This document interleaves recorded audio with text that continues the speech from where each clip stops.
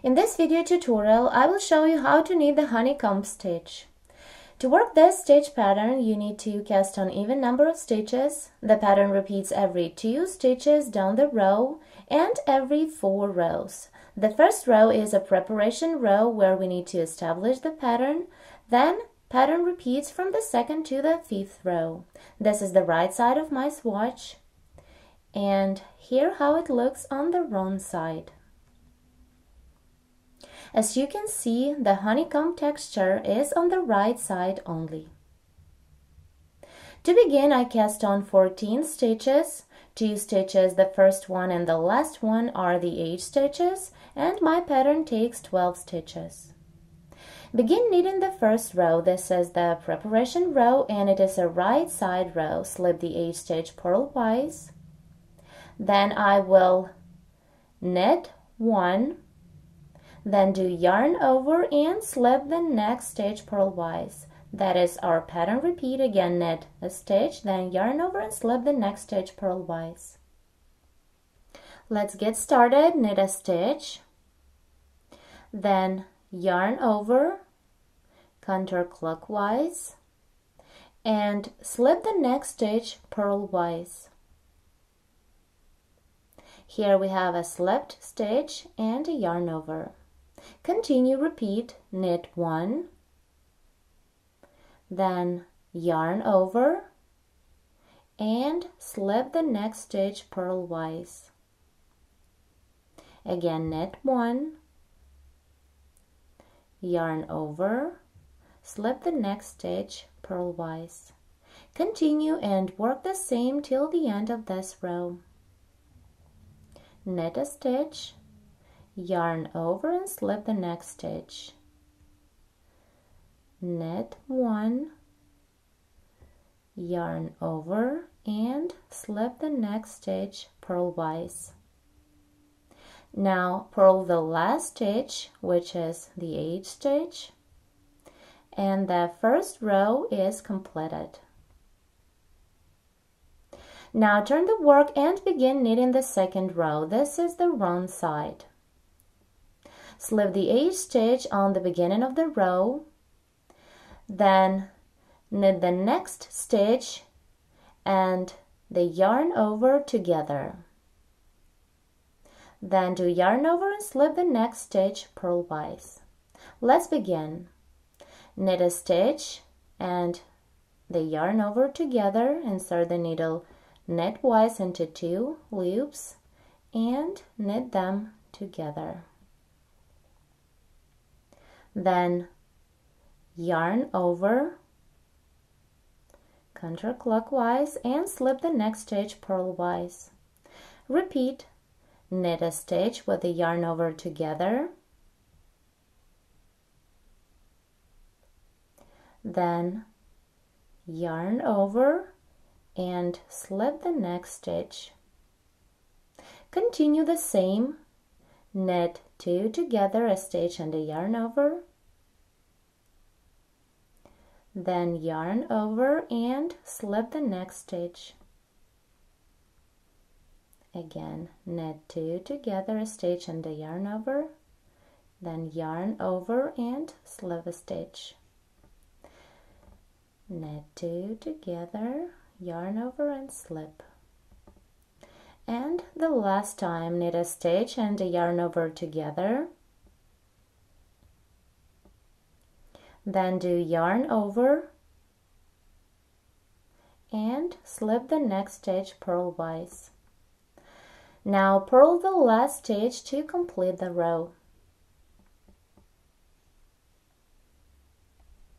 here we've completed row 2 Turn the work and begin row 3. This is the right side.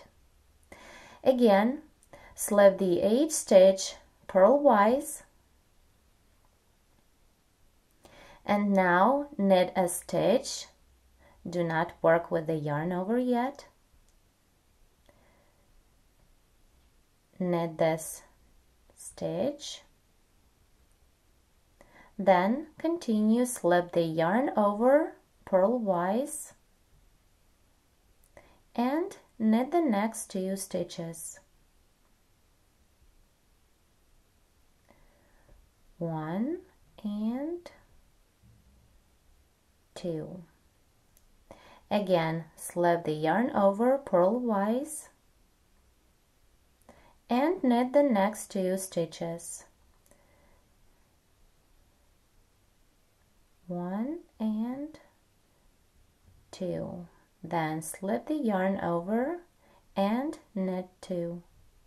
One and two. Again slip the yarn over and knit two. Work like this till the end of the row. Here knit two one and two. Slip the yarn over.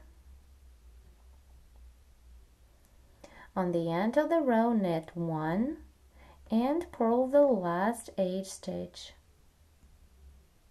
Row 3 is made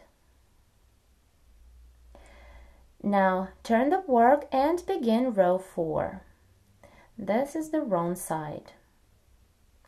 Slip the first edge stitch purlwise then we need to do yarn over and slip this purl stitch. Then knit a stitch with the yarn over together. Let's begin.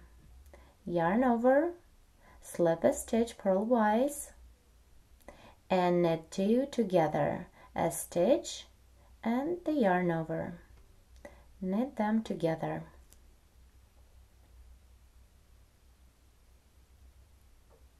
Repeat again. Yarn over. Slip the next stitch. Then knit the next stitch and the yarn over together continue the same. Yarn over. Slip one. And knit a stitch with the yarn over together. Again yarn over slip and knit two together a stitch and the yarn over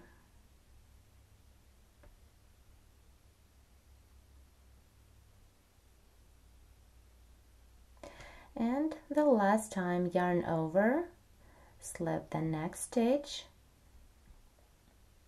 then knit a stitch and the yarn over together.